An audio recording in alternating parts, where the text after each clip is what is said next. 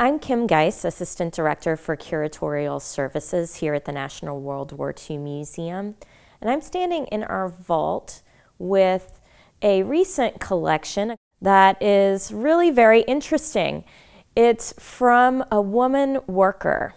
And during the war, everyone knows that women stepped into the gap left by men who were going off into service and also helped fill the tremendous need. It wasn't just people were going into service and women had to step into that role. There was also a greater need. So during the war, lots of women volunteered. At the beginning of the war in 1940, there were about 12 million women in the workforce. And by 1945, there were around 19 million women who were working at the time. Of course, the most famous woman, woman worker became known as Rosie the Riveter. So Rosie the Riveter was a propaganda poster girl, essentially, um, that came to stand for women in the production industry during World War II, American women.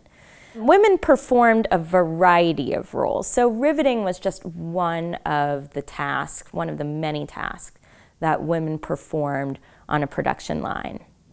Um, and this collection is actually from a riveter. It's not Rosie, um, Nettie, Nettie the Riveter. So this collection is from Nettie Parker, Jeanette Parker, who went by Nettie. She worked at Fisher Body um, in Memphis, Tennessee. And Fisher Body was one of the large subsidiaries of the General Motors Corporation. They had around 13 different facilities around the country. And the Fisher Body in Memphis, Tennessee was part of the Fisher Aircraft Division. And that's what you see on Nettie's um, coveralls that we have now in the collection. So this would have been the uniform that she wore while working, while riveting. And at Fisher Body, they produced various parts for aircraft. So they didn't produce entire um, bombers, but they did produce lots and lots of different smaller parts that then went into the bomber. And Nettie was working on those. What she did was called flush riveting and on B-25s. So flush riveting was a technique that was employed to reduce the drag on aircraft to make them faster. Um, and so essentially the rivet was flush against the surface on the exterior. And so um, there's actually a training film that Walt Disney produced um, for um, riveters on flush riveting and the different kinds of techniques dimpled flush riveting and pre-dimpling and um, so different kinds of flush riveting. But Nettie was a, a riveter who did perform flush riveting on um, B-25 parts at Fisher in Memphis. And in addition to the uniform that we have in the collection, we also have some other pieces. And we have some of her pay stubs. So we have several collections from women workers um, that include pay stubs or pay documentation.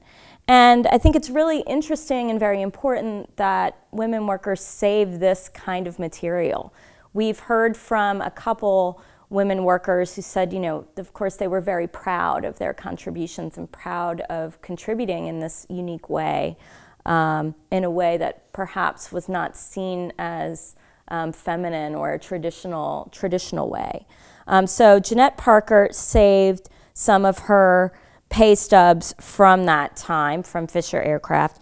And then also one very interesting piece, it's a little booklet, suggestion plan for Fisher Body employees.